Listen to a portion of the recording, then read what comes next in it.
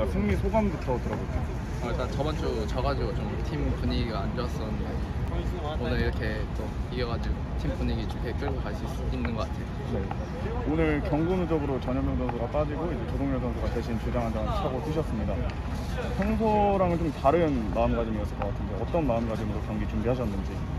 확실히 이제 주장이라는 완장을 차다 보니까 더 책임감도 생기는 것 같고 또 팀에 더 헌신하게 되는 것 같아요.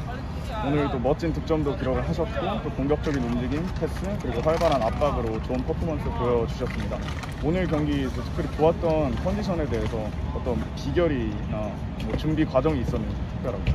어, 그래도 지금 연거전이 얼마 안 남아서 다른 날보다 더 많이 훈련을 하고 연습을 하니까 또 몸이 더 좋아진 것 같고 몸이 더 좋아졌기 때문에 이런 퍼포먼스가 나올 수 있었던 것 같아요. 네. 말씀하셨던 것처럼 이제 정기 연고전까지 한 달 남짓 남겨두고 있고 이제 유리그 경기도 세 경기만 남겨두고 있습니다. 남은 기간 각오 한 말씀 부탁드립니다. 일단 남은 리그 세 경기 다 이겨가지고 좋게 분위기 이끌어가서 연거전도 이길 수 있도록 하겠습니다. 네, 감사합니다. 아,